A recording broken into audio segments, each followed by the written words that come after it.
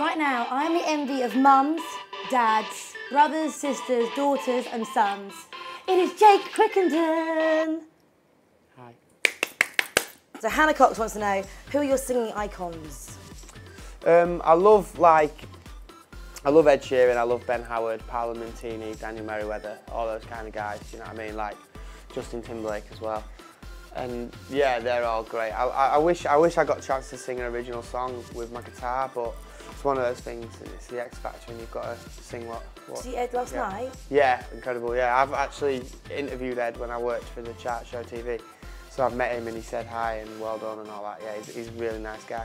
Awesome. Now, Melissa wants to know why are you so fit? Um, don't know. Ask my mum and dad. don't know, like that's. I don't know if I am, but thanks. The right answer is the gym. Oh yeah, the gym. Yeah, just going to the gym.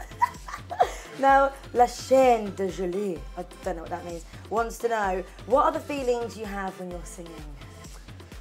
Um, it depends what I'm singing, really. Like, I manage to connect well more with my songs that I've written because they're my words. But you try and think about whatever the song's about. That's about it, really.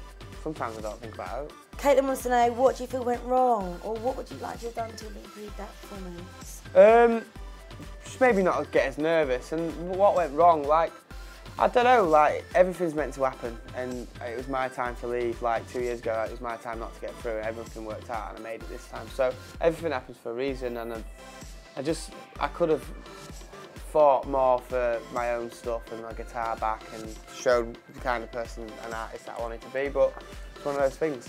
Now, Emma wants to know what do, who do you think will win the X Factor? Obvious question, but come on. Um,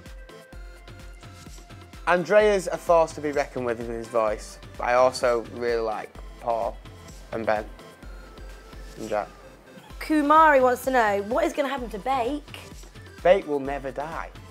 We've already said this. Like I'll stay in touch with Ben and speak to him every day. He's like literally become one of my best mates in a short period of time, which is like weird. It's not very often you meet someone and you just get along straight away. We've got the same personality. We're both idiots. yes, uh, well, you're not, but you're, yeah, Yeah, I know what you mean. Now, Dee wants to know what's next for you. Maybe a place with the Pleasure Boys UK. Now, that'll be worth seeing. What are the pleasure boys? I'm assuming they're naked men that do something. Really? On stage. Pleasure people. Okay. Uh, does she not mean the Dream Boys? I've actually been contacted by the Dream Boys. They wanted me to go on tour with them, so What are you thinking? probably not.